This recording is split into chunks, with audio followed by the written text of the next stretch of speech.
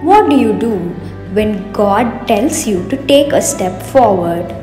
Greetings in the matchless name of our Lord and Savior Jesus Christ. Psalms 37, verse 23 says, The Lord makes firm the steps of the one who delights in him.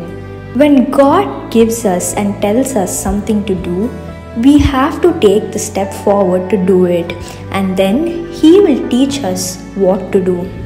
We need to take a leap of faith and trust in the process and let God lead our life.